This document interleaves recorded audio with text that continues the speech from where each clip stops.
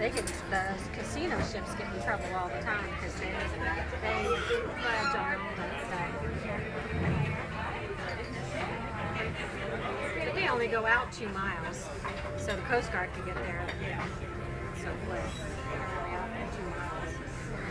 But still, you know.